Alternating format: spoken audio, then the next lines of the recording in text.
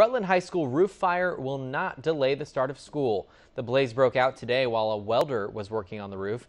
Bibb School's risk management director David Gowan says sparks ignited some insulation around one of the building's AC units, but thanks to the contractor's quick actions, the accident caused minimal damage.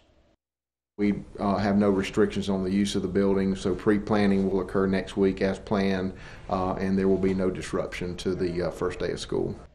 Bibb County students go back to school on Monday, August 5th.